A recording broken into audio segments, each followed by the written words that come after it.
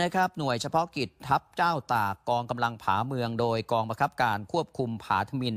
และชุดปฏิบัติการภารกิจพลเรือนที่ 313 จัดกำลังพลพร้อมเทศบาลตำบลห้วยไคร้ มาเยี่ยมเยียนให้กำลังใจให้ความช่วยเหลือครอบครัว กลุ่มเปราะบางและผู้ยากไร้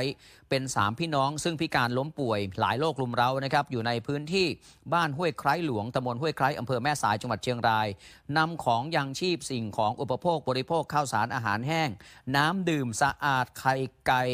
ผ้าห่มและเงินช่วยเหลือจำนวนหนึ่งมามอบให้ในเบื้องต้นนะครับ ทางหน่วยก็ได้ประสานจากอำเภอแม่สาย รวมทั้งส่วนราชการที่เกี่ยวข้องเพื่อที่จะ